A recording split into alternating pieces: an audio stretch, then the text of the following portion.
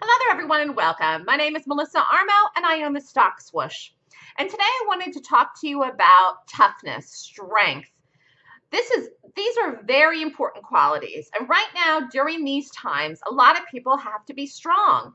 If you get overwhelmed and stressed out by being at home and going through all of the things, especially if you have children or you're working from home and you don't normally do it, um, it really can take a toll on your physical and mental health. And I think people have to, they, they have two choices during times like this. They can either get stronger and recognize and feel their own inner strength, or they can get weaker. Okay. And it's interesting because Governor Cuomo today was talking about the fact that in tough times, you really get to know a person to see how they act when things are tough.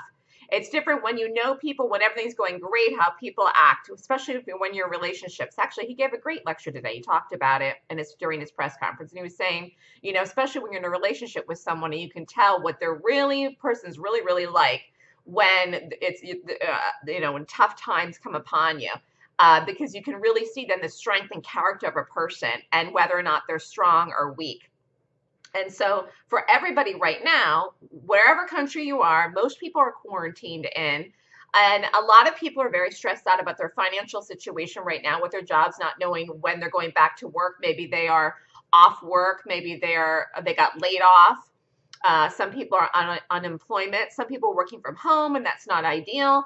Um, and even some people in certain industries, they may be working from home, but they are worried about the future of their jobs based on when this is all going to end, which nobody really knows, and how this is going to affect your overall economy going into the rest of 2020.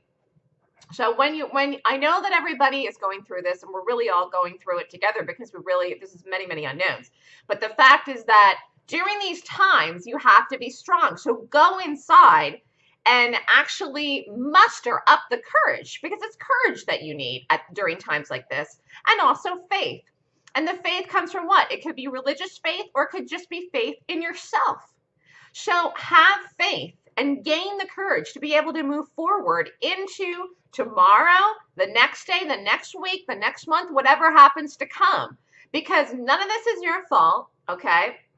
You need to continue to stay strong in your life for yourself, most importantly, and your family. And you've got to learn how to come out through times like this to become stronger and not become weak. You don't want to be weak going through this because you're not going to be better off than in the end. So find a way to muster the courage to be strong, strong, strong. And part of that is staying healthy, getting a good night's sleep, eating right, staying focused, and thinking very, very positive thoughts. So take care, everyone. Stay safe during these times right now. And most importantly, stay strong, physically strong and emotionally strong. Have a great night, everyone.